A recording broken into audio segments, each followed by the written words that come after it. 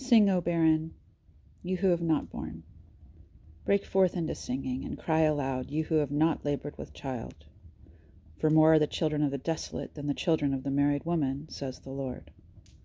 Enlarge the place of your tent, and let them stretch out the curtains of your dwellings. Do not spare. Lengthen your cords, and strengthen your stakes. For you shall expand to the right and the left, and your descendants will inherit the nations and make the desolate cities inhabited. I will not fear, for I will not be ashamed. I will neither be disgraced, for I will not be put to shame. For I will forget the shame of my youth, and I will not remember the reproach of my widowhood any more. For my Maker is my husband, the Lord of hosts is his name, and my Redeemer is the Holy One of Israel. He's called the God of the whole earth. For the Lord has called me like a woman forsaken and grieved in spirit, like a youthful wife when I was refused, says my God. For a mere moment he has forsaken me, but with great mercies he will gather me. For a mere moment he has forsaken me, but with great mercies he will gather me. With a little wrath he hid his face from me for a moment, but with everlasting kindness he will have mercy on me, says the Lord, my Redeemer. For this is like the waters of Noah to him. For as he has sworn that the waters of Noah would no longer cover the earth, so he has sworn that he would not be angry with me, nor rebuke me.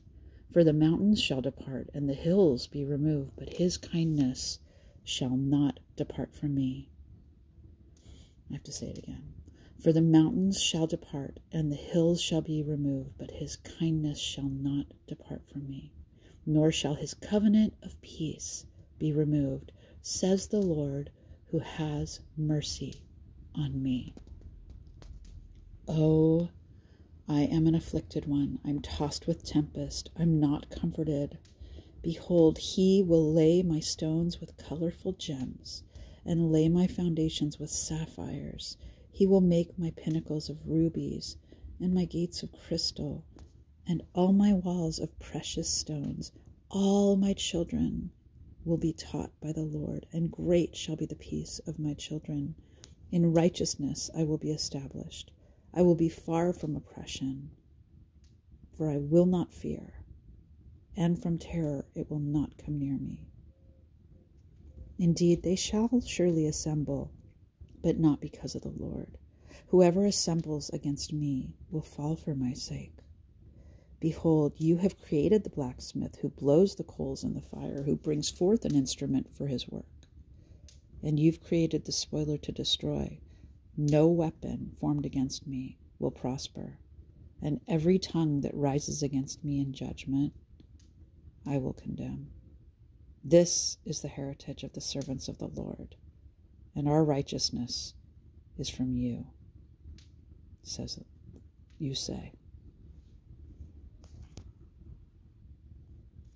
Seek the Lord while he may be found. Call upon him while he's near. Let the wicked forsake his way, and the unrighteous man his thoughts. Let him return to the Lord, and he will have mercy on him and to our God, for he will abundantly pardon. For my thoughts are not your thoughts, nor are my ways your ways, says the Lord. For as the heavens are higher than the earth, so are my ways higher than your ways, and my thoughts than your thoughts. For as the rain comes down and the snow from heaven, and do not return there, but water the earth, and make it bring forth and bud, that it may give seed to the sower and bread to the eater, so shall my word be that goes forth from my mouth. It shall not return to me void, but it shall accomplish what I please, and it shall prosper in the thing for which I sent it. For you shall go out with joy and be led out with peace. The mountains and the hills shall break forth into singing before you and all the trees of the field shall clap their hands.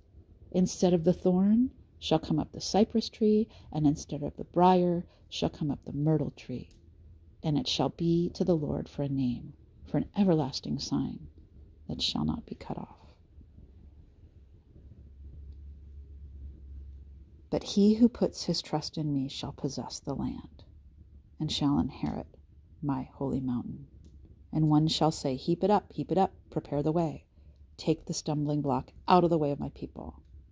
For thus says the high and lofty one, who inhabits eternity. I'm sorry. For thus says the high and lofty one, who inhabits eternity, whose name is holy. I dwell in the high and holy place, with him who has a contrite and humble spirit, to revive the spirit of the humble, and to revive the heart of the contrite ones. For I will not contend forever, nor will I always be angry, for the spirit would fail before me, and the souls which I've made. For the iniquity of his covetousness I was angry, and I struck him.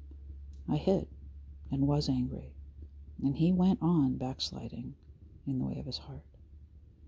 I have seen his ways, and will heal him. I also will lead him, and restore comforts to him and to his mourners. I create the fruit of the lips, peace, peace to him who is far, and peace to him who is near, says the Lord and I will heal him. But the wicked are like the troubled sea when it cannot rest, whose waters cast up mire and dirt. There is no peace, says my God, for the wicked. God bless you.